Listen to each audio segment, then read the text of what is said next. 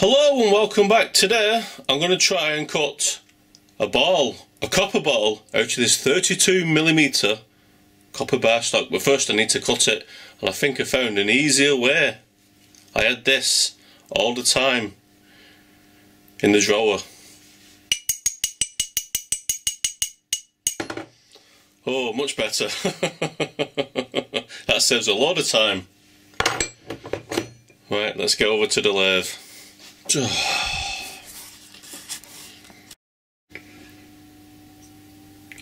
Just had a thought, before I go over to the lathe, I need to drill a hole in the copper bar to attach it to the mandrel, ready for ball turning.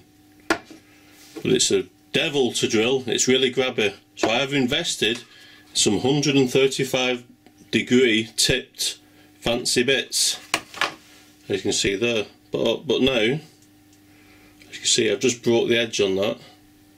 I need to break the edge on the other side. Stop it being as grabby. Just turn it from a positive to a neutral.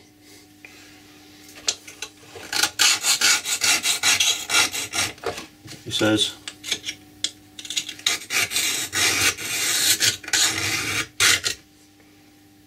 Yeah, it's broke it. It's probably not making great television this, but I think it'll make all the difference. Right, so no one wants to find out, just give it a go. It's either going to work or I've just ruined a perfectly good bit.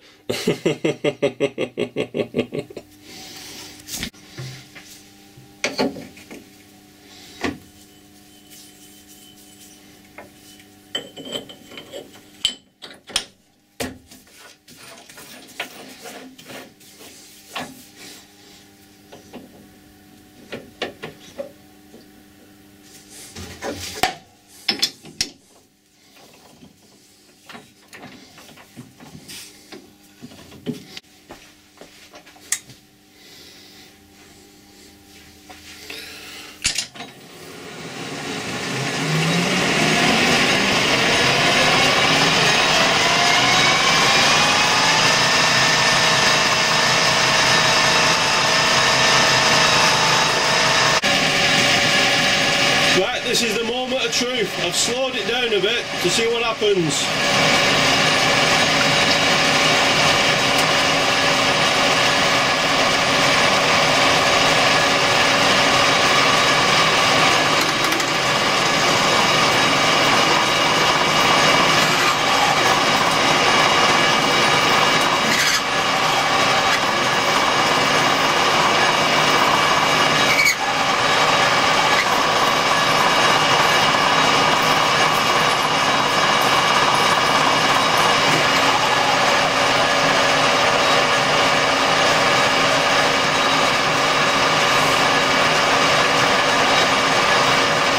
Too bad at the moment. But a slow speed and 135 degree drill bit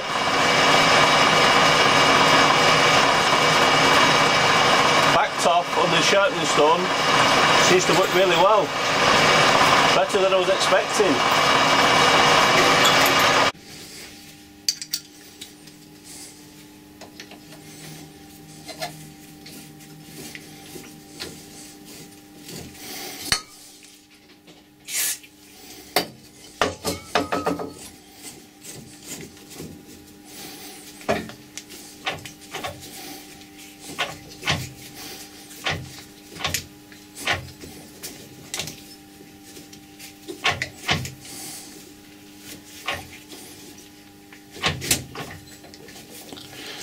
This is the first time I've threaded copper. It's a little bit grabby. As long as you don't turn too far, get too far ahead of yourself, it's not too bad.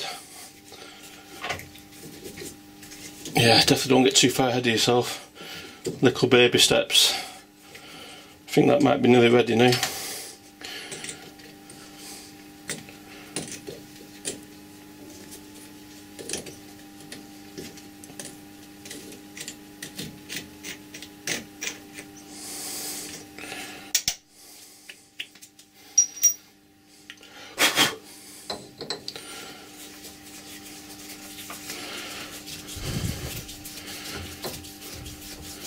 Cool.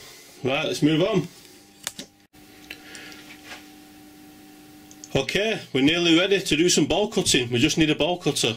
I'm not going to use a large one today because it's set up for a different process. I'm going to use a smaller one which I made a few years ago.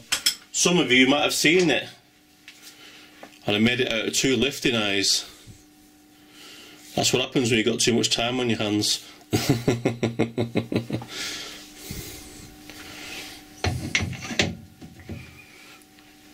it looks apart anyway. I've just ground this down. I don't know if you're going to see it very well. I'm going to give this tip a go to see how we get on. As you notice, every side's different. That's called grinding in the dark. It's just, it's my own it's my own design. Let's see what happens.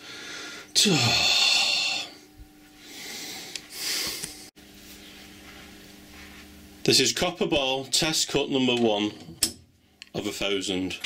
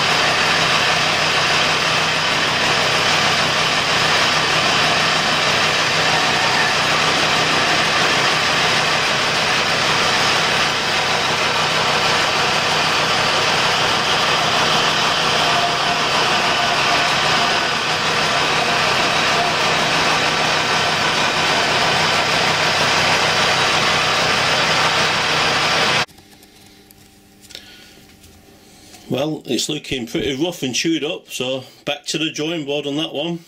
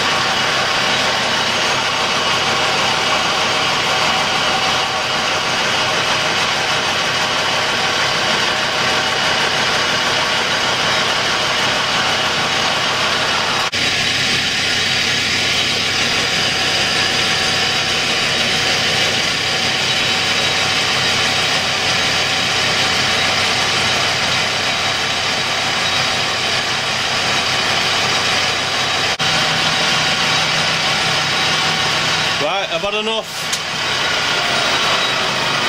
That'll do.